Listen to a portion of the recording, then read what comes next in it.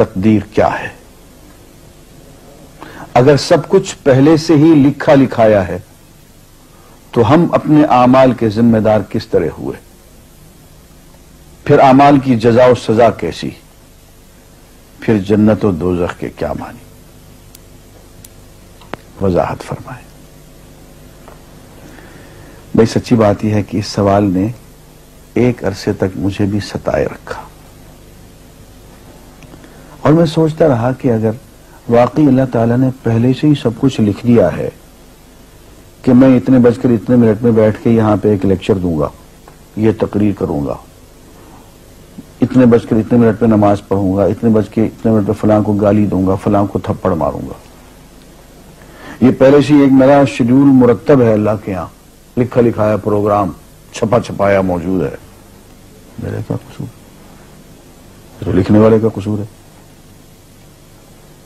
बात तो खतरनाक है ना? तकदीर क्या है? अरबी में इसके लिए एक लफ्ज लिखा जाता है दीनी किताबों में। इल्मुल्लाह अल्लाह का इल्म जो पहले से उसे हासिल है।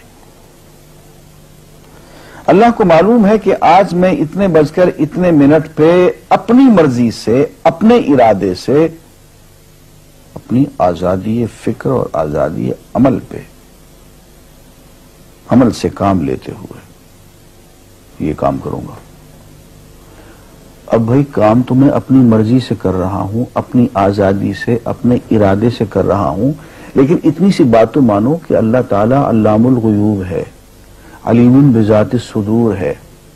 मुझे अपने बारे में पता नहीं है कि कल दस बज के दस मिनट पर मैं क्या करूँगा, उसको पता है।